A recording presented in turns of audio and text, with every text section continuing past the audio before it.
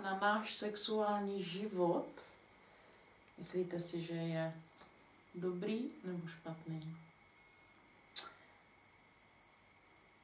Porno nemá nic společného se sexem nebo s milováním ve vztahu. V pornu totiž není láska. Ve vztahu láska je. A láska je milování a k lásce patří milování. Pokud se muž často dívá na porno, může si jej e, vyložit jako skutečnost.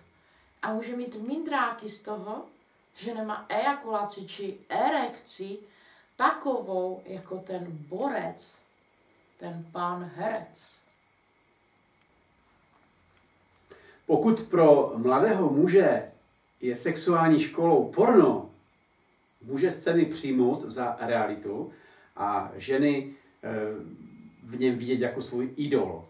Jo.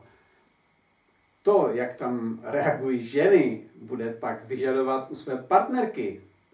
Pokud se tak partnerka nebude chovat, ať je to hlasitý projev, jo, nebo e, nebude chtít některé z praktik, bude jí to, nebo bude to vnímat jako, že je frigidní, e, nebo sebe jako toho, kdo zklamal, jo, že, že ji tak jako nevyburcoval.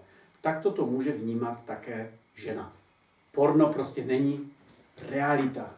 Vůbec nic nemá s realitou, s láskou a vztahem společného. Je to prostě divadlo.